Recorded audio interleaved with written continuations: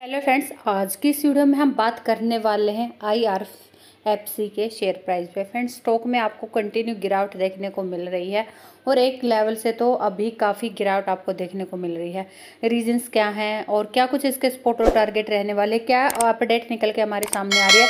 Detail से समझेंगे। उससे पहले फ्रेंड्स अगर फ़र्स्ट टाइम चैनल पर विज़िट करते चैनल को सब्सक्राइब करके नोटिफिकेशन बेल को ऑन कर लो, ताकि जब भी मैं जो वीडियो अपलोड करूँ, उसकी नोटिफिकेशन आपको मिल जाए। यहाँ पर अगर हम बात करें कि भाई गिरावट गिरावट के रीजन आप सभी को पता ही है कि भाई जो आरबीआई की तरफ़ से जो लोन का प्रावधान बढ़ा दिया गया था फाइव परसेंट के करीब करने की बात हुई थी, उसको लेके पूरे बैंकिंग सेक्टर और जो एनबीएफसी सेक्टर है, उसमें गिरावट देखने को मिली। ये एनबी सेक्टर ही है मतलब एनबीएफसी का काम करती हैं।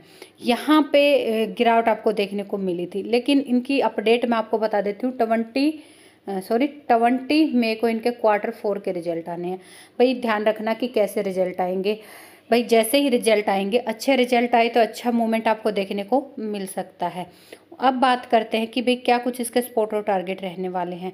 यहाँ पे अगर हम बात करें इसके स्पोर्ट की तो यहाँ पे 134 से और 140 के करीब का एक स्पोर्ट जोन है। यहाँ पे स्टॉक स्पोर्ट लेता हुआ नज़र आएगा। यहाँ से अगर स्पोर्ट लेकर रिकवरी दिखाता है तो अच्छा मूवमेंट आपको देखने को मिल सकता है। अदरवाइज़ इसका ब्रेकडाउन कर दिया तो नीचे के लेवल आपको देखने को मिल जाएँगे। तो और फ्रेंड्स मैं आपको बता दूँ, किसी भी अच्छे स्टॉक में अगर गिरावट आती है तो पैनिक मत हुआ करो।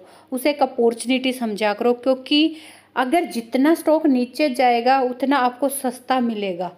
उतने अच्छे आपको रिटर्न मिलेंगे। तो टेंशन मत लो। जिसने हाई प्राइस पे बाई कर लिया है, वो भी टेंशन मत करो भाई। एवरेजिंग कर लेना एक लेवल के बाद।